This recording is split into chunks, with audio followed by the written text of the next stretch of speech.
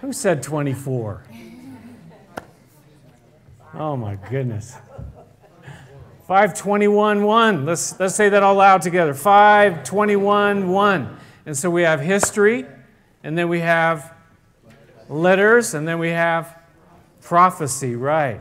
History, letters, and prophecy. That's pretty much the breakdown. We're gonna, I'm going to have you look for a, a few books today uh, uh, uh, to find them in your, your Bibles when we get to that. So, but we've been looking here in the, in the Gospel of John. If you want to open up today with me, the Gospel of John, chapter 3, where we've been talking about some very important stuff here in this first section of John chapter 3. Uh, the first thing that he talks to in, in section one is that you must be what? Born again. You have to be, you must be born again. And it's not uh, an option if you want to see the kingdom of heaven, if you want to go and enter the kingdom of heaven, the kingdom of God, you must be born again. There's no other option, no other way, no other avenue besides being born again. To have a brand new life start within us. That's what it's all about. That's what it, it, it entails. So for you and I, you and I, uh, we have to keep that in mind and, and, and knowing that this is like God's plan. This is God's purpose. This is God's way. The second thing that we, we talked about, uh, the second must found in the, in the Gospel of John, chapter 3, is that the Son of Man must be lifted up. So, the necessity of the cross. For us to be born again, without the cross, there's no way for us to be born again. That was the avenue, that was the way for you and I to be born again, was, was by the Son of Man being lifted up on the cross, that, his, that he would be exalted. And, and this idea that the cross, I can't get this out of my head, that the cross is, is really towering over all of humanity, all people, over all time, this cross the cross of Jesus Christ. As the snake, we read, as the snake was lifted up on a pole, and the people who were bitten by snakes, they had to look up to it and they would live. So Jesus was lifted up. He was lifted up on the cross, and that all who would look up to him would live. So there was no other way. We had to look and live. The truth is that you and I, we, we've all been bitten by sin. We've all been bitten. That's the problem. You know, people think, well, you know, I'm okay. I'm a pretty good person. I'm, I'm going to make it into heaven, right? Because, you know, I haven't, I haven't, you know, killed anybody. I haven't, you know, done all kinds of bad stuff, robbed a bank. Yeah, thank you. I can't think of any bad stuff today. It's all bad, though, right? How many people have told lies? Oh, that's just a white lie. That's just. How many of us have, you know, uh, done things in our minds that we know are just not right? We're all, we're all sinners. We're all bitten by the sting of sin, and the only way for us to be forgiven is by looking up to the cross. Now, today we kind of uh, get to, a, I think, I think it's a very important verse, but I want to I wanna show you some pictures here first. Look at that.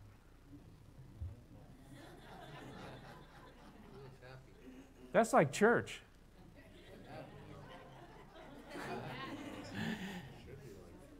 You know, I heard that the Boston Red Sox like have some big games coming up.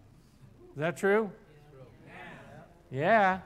So it's kind of like sports fever right now. It's kind of like that. Now, I don't even know what team that is, to be honest with you. Uh, I can't pick it out. But what I want to point out to you is that right there. See, this is a big game that's happening here, and he's not excited about that, but I'm excited about that. How about this? This is a big game, too, and, and it's a little hard to see, but he has John 3:16 there. And the you know, and the uh, Vikings and the Steelers, and they, you know, you've got guys that go to the back of these things, and so they show these signs. And, and you can watch games as you watch sports. You can see if guys that have these sort of things up there. Let's see what else. That's kind of interesting. I'm not sure what he has in his hand right there. he's got a gun here, and yeah, probably a taser, and uh, maybe this guy's running through the field or something. Uh, it's hard to say. Uh, hopefully, we're not as offensive as that to have somebody chasing us with a taser, right? hopefully. But it's hard to say. I got a couple little short videos I want to play for you now. Chris, can you uh, can you run those for us, please? You got to make sure the volume's up and back it up. Can you tell the people about, I want to ask you about one part of the book. When you talk about on your eye black, when you wrote 316 yeah. in the Bible, can you tell the people about the uncanny coincidence that happened in a press conference a few years later? Yeah, well, we were playing for the national championship um, in college on January 8, 2009 and I decided to wear John 3.16 under my eyes. And during the game, uh, 94 million people Googled John 3.16, and it was a pretty cool moment. Well, exactly three years later, we happened to be playing the Pittsburgh Steelers in the first round of the playoffs when I was with the Denver Broncos, and I didn't even know that it was exactly three years later. It was uh, January 12th. January 8, 2012, exactly three years later to the day. I just went out there and tried to do whatever I could to win a playoff game, and afterwards, I'm going into the press conference because I love talking to media. and uh, our PR guy jumps in front of me and says, Timmy, do you realize what happened? I was like, yeah, we just beat the Steelers. We're going to play the Patriots. And he was like, no, do you realize what happened? I was like, all right, Patrick, what's up? He said, it's exactly three years later from the day that you wore John 3.16 in your eyes. I was like, oh, that's really cool. He said, no, I don't think you realize what happened. During the game, you threw for 316 yards. Your yards per rush were 3.16. Your yards per completion. Uh oh. I was just starting to get into that. Can you can you try to can you try to fix that?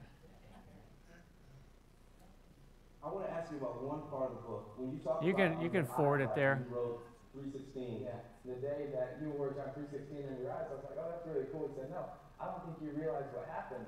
During the game, you threw for 316 yards. Your yards per rush were 3.16. Your yards per completion. Ah, it was a bad download. Anyways, he goes on to say that, you know, all these numbers were all 316. And uh, that's pretty incredible.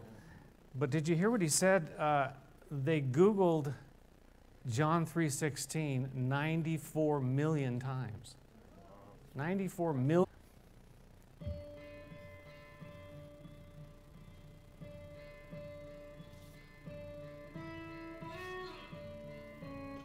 So that's what we're talking about when we talk about being saved.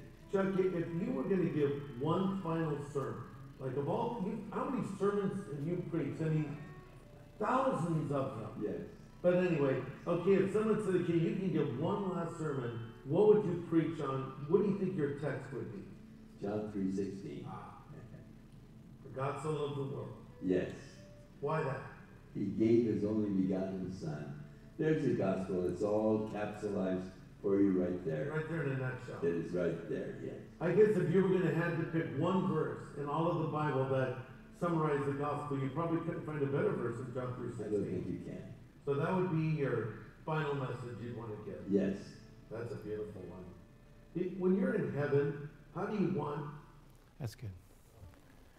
That's good. That's Pastor Chuck, as most of you know, and uh, he uh, that was Greg Laurie who was interviewing there, and it was like his last interview that he did, and he passed away not too long uh, after that. But for him, the most important verse that he could think of that he would speak about was what? John 3:16. Is that amazing? So that's the verse that we're at today. Interestingly enough, it's it's uh, I'm sure the most well-known verse in the Bible. I'm sure about that. The most well known verse in the Bible. So, knowing that, you know, I had a, a question well, how do you speak on that? Everybody knows that verse. It's the, the most well known verse. And then the other question was, how do you not speak on that? Because it's the most well known verse. And, and, but, but as I was thinking about it and just thinking about this idea that people Googled it 94 million times, what does that tell us? They didn't know what it was, right? They saw it under his eye black. you know, John 3.16, and, and uh, they didn't know what that was, so they Googled it to find out what that was. So that tells me that there's a lot of people in our country who do not know what John 3.16 is. Used to be, I think, it was very, very much well known. So that's kind of disturbing in some ways uh, that people don't know it as much, but the opportunity, it just tells me the opportunity is great as well. Now, I don't know, I'm not going to ask you to raise your hands, but how many, uh, you know, ask yourself, how many of you know what John 3, 3.16 is by heart? How many of you have memorized? You know what it is. You don't have to raise your hand. I don't want people who don't to feel uh, uncomfortable. Or maybe you should, I don't know.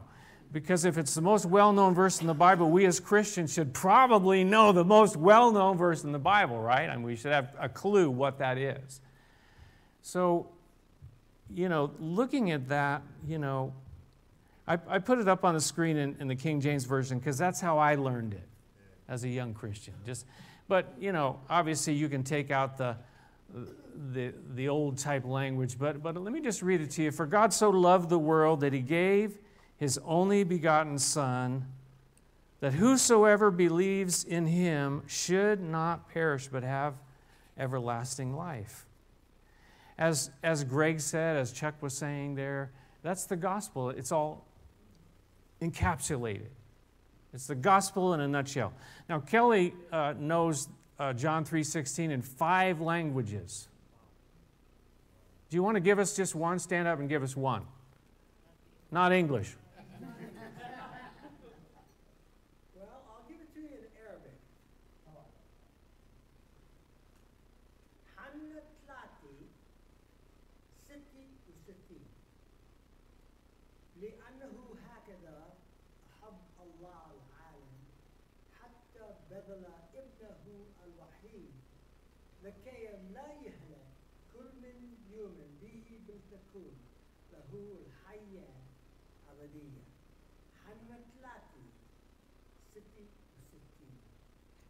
Yeah, all right. Hey, I like that. You know, uh, a few months back, we had lunch at the little uh, Mediterranean place around the corner from here, and the, the guy spoke Arabic, and Kelly quoted that to him. And he spoke English too, but not, not so well, but, but I thought that was kind of cool. So, you know, this, this verse is so, it's got everything there. It's got, you know, the, the, the source of love, somebody said, the extent of love, the sacrifice of love, the results of love. It, it, you know, it, it's all there found in this verse. And so for you and I. Now, Jon Courson, he, he kind of gives this challenge when he's writing on it, uh, writing about this verse. And he says this, he says to meditate on John 3.16 for 10 days giving emphasis to a different word each day. He says, I believe it will come alive for you in new ways as you contemplate the enormity of its simplicity. So you, you take this verse and, and you, you look at one word, and we're going to kind of go through each word here in, in, in order. And I, I thought we'd, we'd use that as a template today. But to do that on your own, to do that in your own private time, I, I find in the middle of the night when I can't sleep is a good time to kind of think about some of these verses that I know. And there's, a, there's two or three that I always go back to Psalm 23 and uh, the Lord's Prayer. And, but this is another good one here, John 3.16, to look at, just to meditate on, to think about what is he saying there. And you say, you know, for, or God so loved the world, and, and that so on and so forth. So let's just look there at, these verse, at this verse here, and, and we'll look at each word as we go along just uh, kind of quickly. Uh, so the first word is for, and for God so loved the word. The first word, the first word is for, and it, it really, what he's saying there, he's looking back to what? To what he just said. Let's, let's read just what, what was just said there in verses uh, 14 and 15. He says, let me find it here. He says, Just as Moses lifted up the snake in the desert, so the Son of Man must be lifted up, so that everyone who believes in him may have eternal life. Again, he's talking about the cross, he's talking about faith in Jesus, and then he talks about eternal life there. And so then the John 3:16 starts with this word for for the cross because of the cross, because of what he's just said. We can have eternal life. And then he goes on now to explain and give clarity. And where does it begin? Where does it end? Where is it all wrapped up? He says, For God. Really, it's all about God, isn't it? You know, God is the one that we're here for. You know, I don't know that any of you came here today just for a potluck. Or you came here today just because it was cold out and you wanted a warm place to go. I don't know that any of you came. I think that within each one of us, the reason we came here today was we want to meet with God. We want something of God in my life. I want to connect with God on some level, some plane. And I think that's why we're here. And, and, and, and so the first thing he says is, For God so loved the world. It's all about God, isn't it? From beginning to end, it's all about God, what God has done. God, Genesis 1 1, created the heavens and the earth. All the way to the end of Revelation, where God has created a place. He's, he, he's got a place He's prepared for you and me. It's called heaven. God so loved the world. The next thing he says there is he says, God so loved, and, and really there are two words there, but it, the first one sort of tells us how much did he love. It says, God so loved. How much did he love? So loved. And then he, it, it really, the meaning of the word is this in this way. For God in this way loved the world. Well, in what way? In the cross. How did he do it? How much did he do it? You think about the cross, you know, and, you, and I love this illustration of, you know, with young kids, you teach them, well, I love you. I love you more.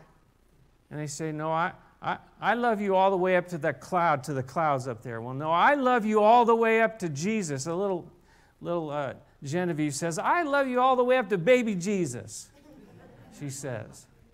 Like, how can I? What's the comeback for that? Okay, you win. You know, but but really, it's you know, Jesus. He stretched his arms out. He says, "I love you this much." Isn't that what the cross says? I love you this much. And, and really, that's what it is. How he loved us in a way. One, uh, one Bible scholar said this, defining this word so he says, never seen in such fashion, such an extraordinary sight. That's how. That's how much. Never seen in anything like it before in such fashion, such an extraordinary sight, that He loved us in this kind of way, in this kind of fashion. You have to ask the question why? Why did He do it? Why did He why did he go to the cross? Well, it, his motivation, he says here, is love. It's love.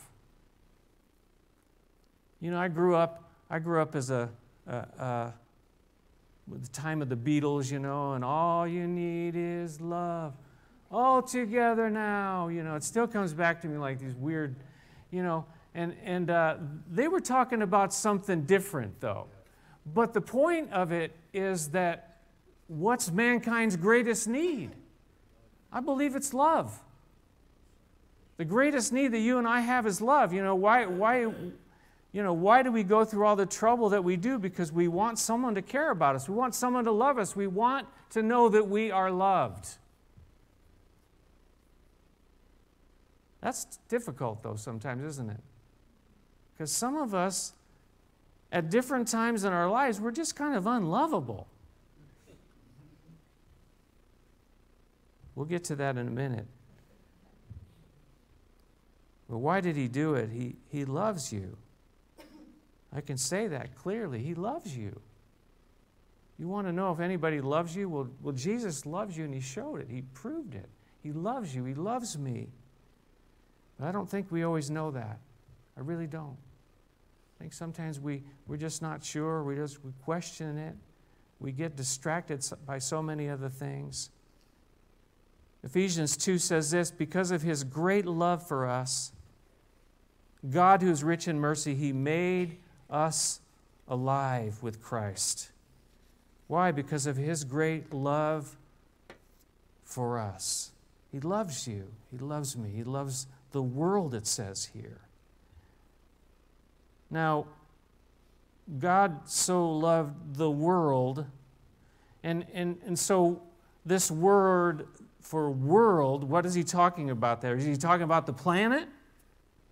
God loves the, the rocks and the hills and the valleys and the. He's talking about people. Now, he cares about the planet, don't get me wrong, he does, but he loves the people. He loves you and me. He created us. It, the, the human race was the crowning achievement of creation. The, the creation of man. The extent of his love is, is the whole human race. His love is for all people. So you could, you could put your name in there if you want to, and I think we probably should, as you're meditating on this verse, for God so loved me. Amen. You can put your name in there. Why? Because you're part of the world, aren't you? You're part of the whole human race, aren't you? I hope you are. If you're not, I, you're scaring me. I'm not sure what you are, some kind of, you know, apparition or some kind of creature. But you, you could have fooled me. You did fool me. So, so I could say, you know, for God so loves Zeke. For God so loved Zeke. You could, every one of you, I could go around the room and put your name in there too. For God so loved you. Do you know that? Do you believe that? Do you live like that? That's a question for each one of us, myself included, to ask. It says God so loved the world, He, he loves each one of us, the whole human race. He's so loved. He didn't just say, I love you, though, did He? You know, we do that. Oh, I love you. I love you so much. And then we go and, and just ignore you. I love you, my wife, but I'm going out to do my own thing now, and I'm not, I don't really care what you think or what, you know, what you need right now. I'm going to go out and do what I need to do. Is that love? That's just a, a small example, but, but love really has action, right? True love has action. True love gets behind the words, not just words. You know, it's, it's, it's let us love with word and deed, not just with word. Let's put feet to our words, so to speak. So look what it says there. It says that he loved the world that he gave. He so loved the world that he gave. He gave his one and only son. He gave. He gave. You know, love gives. Sometimes we think that love only takes. Right? I love you, so what can you do for me? But love, Jesus showed us that it's, it's completely different than that. Love, if I love you, I'm going to give. I'm going to give to you. Love gave. He gave. Love gives. You think about Christmas time where it says, you know, we, we read Isaiah chapter 9, uh, verse 6, it says, For unto us a child is born, to us a son is what? Given. He gave. He gave his son. I want you to turn with me now, as I said, I want you to find some verses with me in the Bible. And these, first, let's start with 1 John chapter 4. And that's going to be right in the section right before the book of Revelation. So, right near the end. 1 John chapter 4. Now, 1 John is what? What kind of book is it? It's a letter, right? And who was it written by? John. What John? The same John who wrote the Gospel of John, right? John the Apostle. He wrote this, these letters as well. There's three letters 1 John, 2 John, and 3 John. We're going to read just a couple verses here in, in 1 John. chapter 4, verse 9. It's interesting, though, the context of the verses we're going to read about His love, God's love, is, is He's saying that we should love one another. But let's read verses 9 and 10. This is how God showed His love among us. He sent His one and only Son into the world that we might live through Him. This is love, not that we loved God, but that He loved us. And He sent His Son as an atoning sacrifice for our sins. It was costly. He sent his son as, a, as an atoning sacrifice. The cross was costly. But he said, This is love. Not that we loved God. In other words, we weren't loving him. And he says, It's, you know, it's so easy to love you because you love me fact, we didn't love him. We were, it was actually the opposite. We wanted to have nothing to do with him. But he sent his one and only Son into the world. He gave. This is love. He showed his love, he proved his love. We were unlovable, yet he loved us. I find that kind of hard to do.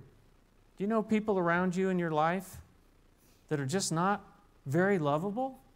in fact, they're unlovable. And yet, God loved us when we were unlovable, and, and sometimes even asks us to, this is a, a little aside here, to love those people who are unlovable. That's kind of hard to do, isn't it? That's difficult sometimes. And I think, I think for me, the first thing because I, cause I get my back up when someone's like that, and I, you know, I just want to strike back, you know. But I think the first thing that we need to do is pray for them. Maybe then pray for ourselves. Help me to love that person, but pray for them. Obviously, there's a reason they're like that, and so for you and I to pray for them. Not only, I think, does it help them, but it changes us. But the example that, that we have here, that God loved us, he sent his son. He loved us so much, he sent his son. Romans, I want you to turn with me to the book of Romans now. So you're going to go to the left. Kind of keep your, keep your hand in First John because we're going to come back sort of close near that in a minute. But I want you to turn back to Romans. Romans. That's, oh, you remember R.C. Gap? That's the R. Amazing, huh? So that means it comes right after Matthew, Mark, Luke, John, Acts, Romans. Romans chapter 8. Romans chapter 8. These are some amazing, amazing verses. Romans chapter 8, verses 31 and 32.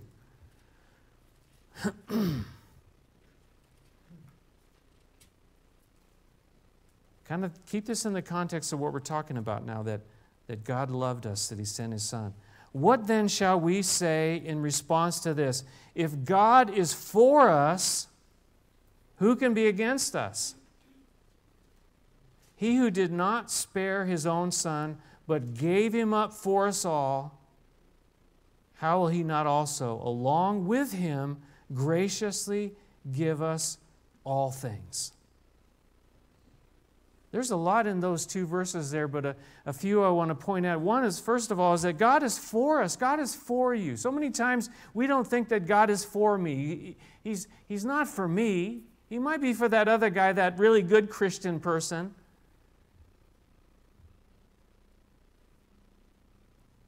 But he goes on to say, He who did not spare his own son, but gave him up for us all, how, how will he not also? Along with him graciously give us all things. So God is for you, and not only did he give his son for you, but he gave his only son for you, but he has other things too. That was kind of like just the beginning. He'll graciously give you all things. You say, well, you're just like doing positive confession on me now. No, this is the Bible. I'm just, I'm just quoting what the Bible says here. That God wants to take care of you and me. He has a plan, He has a purpose and He's for you. He's for me. If He gave us the best, the very best was His Son, uh, everything else is like small potatoes, right? Compared to that, everything else is little. If He gave us the very best already, the rest is easy for Him. For God so loved the world that He gave His only begotten Son, that whosoever believes in Him should not perish. That whosoever believes in Him. That word whosoever well, he kinds of set, he sets it all up, and we see that in, in verse uh, John three sixteen. He sets it all up, really, for you and for me. But then it's like an open invitation, right? Does he force you to go through that door? Does he force you and I to, to make a decision? No, it's, it's whosoever. And this word, whosoever, means guess what? Whoever, yeah, whosoever. It means just what it says. Everybody, all, everyone, anyone. It includes all those. But whosoever, whosoever would believe, it's open to all. Everyone who believes. Everyone who believes. This word belief is, is really at the heart of, of our relationship with God. How do we get there by faith? What does it mean to believe? It means to have faith in, it means to trust in. So to trust in Jesus, to, to, to believe in Him. Now, does that, does that end when we become believers? Oh, no. It just, it just begins, really, for you and I to keep trusting Him through all the difficult things that we face in this life. Some definitions I found for this word for, for believe to think to be true, to be persuaded of, to credit, to place confidence in, to have faith directed unto. And I like this one to give oneself up to. Not, you don't, we don't just trust in Him, but we give ourselves up to Him. Why? Because we trust Him, because we believe in Him. Who is He talking about here? He's talking about Jesus, right? whoever, whosoever would believe in him. That is in Jesus, in his Son, the Son that he gave to us, should not perish. Now, that word perish, you know, it's you say, well, you know, we don't like to use anything negative. We don't we, we only want to talk about positive things and and there are people who never use any kind of negative language, well, then you're going to have to take this word out of the most well known verse in all the Bible. He says that as we believe, we will not perish. And the word perish means just what it says to die, to be lost.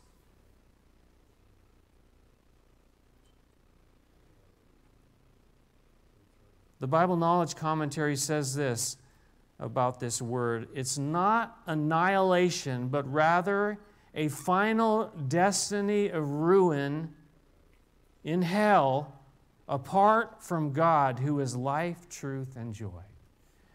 The Bible describes it as an everlasting separation from God. That's what perishing is. And so, to, for us to say, I'm never going to talk about that, but that's what, it, that's what the Bible is trying to get us not to do that we would not perish, that we would not be separated from God forever and ever. You remember I said, keep your finger in 1 John. I want you to turn back there now, but I want you to turn to 2 Peter, which is right before 1 John. 2 Peter chapter 3. I want you to see this. I want you to see these verses because we, we're looking at John 3.16. It says that we would perish.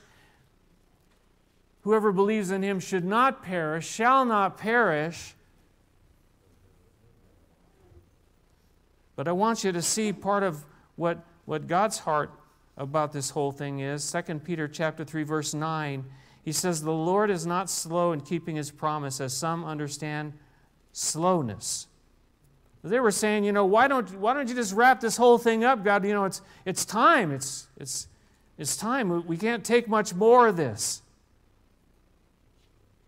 But there's going to be a day, and God's going to keep his promise, but the, the purpose behind it is this He said, He is patient with you. And get this, get these words, not wanting anyone to what? Perish, but everyone to come to repentance. God's heart, God's will is that none of us would perish. Ezekiel he says, I, God says, you know, I, I don't want any of you to die. I want you all to repent. I want you all to come to me. God's heart is, has been like that from day one. He doesn't want any of us to be separated from Him. He doesn't want any human being to separate from Him, but, but, he, but He's also given us free choice. And, and the sad thing is that we make this decision, we make this choice. Well, you know, I, I don't have time for that. I don't really want to get into that. I don't want to deal with that. And we miss the very best thing in all of life, which is eternal life.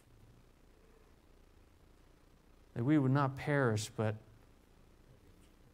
we would have eternal life or everlasting life. Everlasting life. We would have it. We would own it. We would possess it. This eternal life, this forever life that has no end, that never ceases. But the truth of the matter is, eternal life doesn't start when we get to heaven, does it? It starts now. We have eternal life. I have eternal life. I have everlasting life. Life begins now. But the wonderful thing, it goes on into eternity. Let's turn back to the Gospel of John. There's a few verses I want to look at as we, as we wrap this up here. John chapter 11 first. We're going to look at John chapter 11 and then John chapter 17. So back to the Gospel of John, chapter 11. Verses 25 and 26. Jesus was there when Lazarus had died. His friend, his good friend, had died, and, and he went there. And, and so he's speaking about really life and death. And he's speaking to Lazarus' sister, and, and uh, he says some very interesting words there in verses 25 and 26. He says, Jesus said to her, He said, I am the resurrection and the life. He who believes in me will live even though he dies. And whoever lives and believes in me will never die. Do you believe this? So he's talking about life and death there. He says that if you die and you are a believer, what will happen to you? It's not over. It's not over. You, you've just entered into the presence of Almighty God. You have just entered into that place that God has prepared.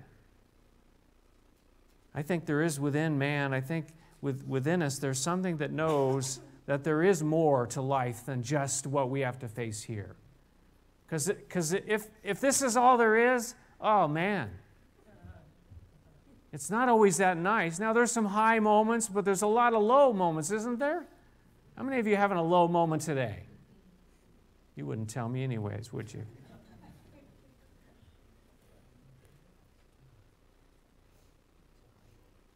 He who believes in me will live even though he dies. But then he kind of turns it around. He says in verse 26 Whoever lives and believes in me will never die. Now, is he talking about physical life? No. Because Lazarus died again, you know. Lazarus was resurrected, but he died again, you know. He's not still walking around somewhere, like really old. But we'll never die that second death. The Bible calls it the second death. It's, it's, it's an eternal death, it's eternal separation, and we'll, we'll never die. Whoever lives and believes in me will never die. Do you believe this? Do you really believe that you have eternal life? Well, John 3:16 says that that whoever believes, whosoever believes in him should not perish but have everlasting eternal life. So we're going to live even though we die. Life beyond this life. and we will live and never die. That second death, that eternal death. And the last, last verse again, John 17. I want to close with that. John 17, verse 3.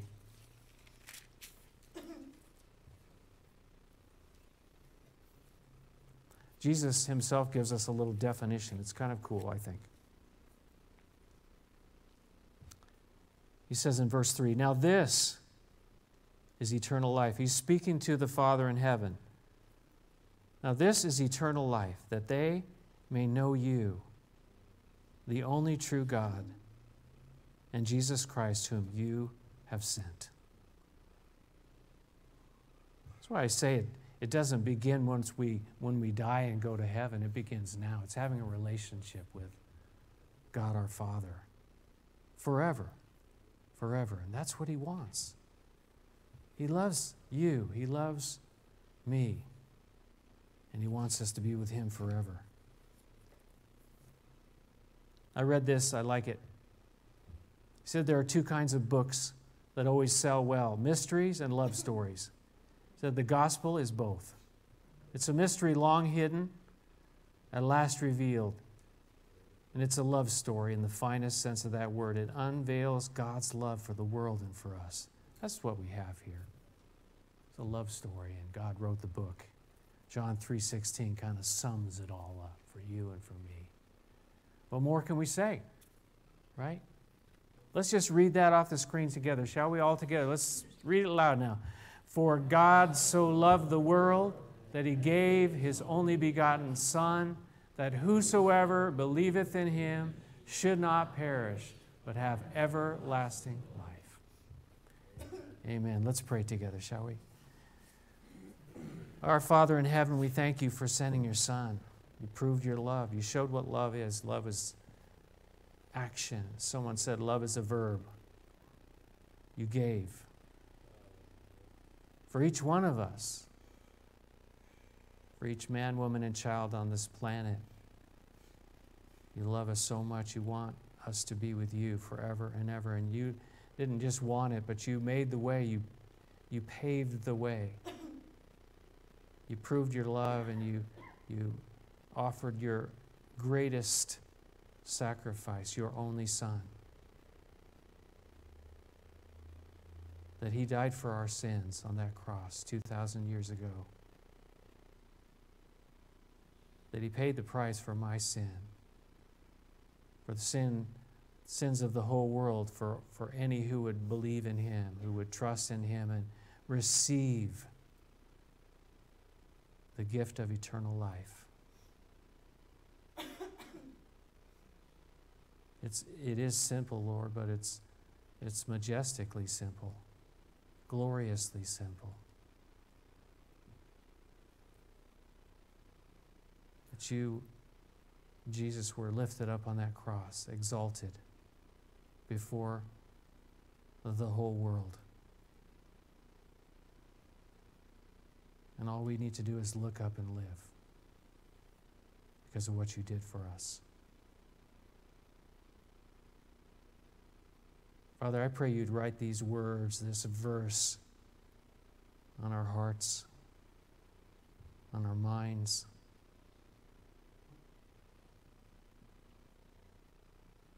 That we could know truly what eternal life is, knowing you, Father, and Jesus, your Son, whom you sent.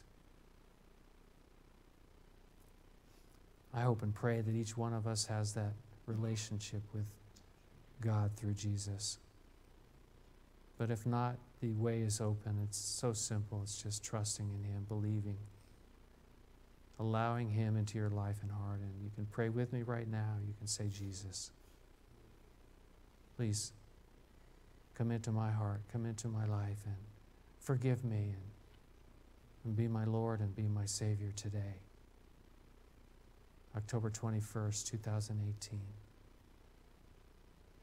That I would live forever, that I would have eternal life with you forever from this day forward. In Jesus' name we pray. Amen. Let's all stand and sing together.